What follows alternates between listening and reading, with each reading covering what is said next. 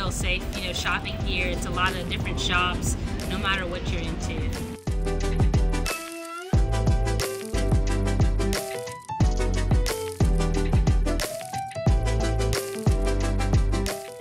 I've seen people social distancing. I've seen people uh, just minding each other's way. Everything we're supposed to do.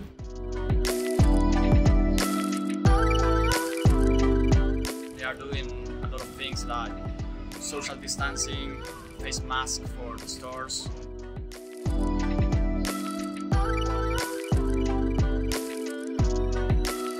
I would definitely recommend shopping on Lincoln Road.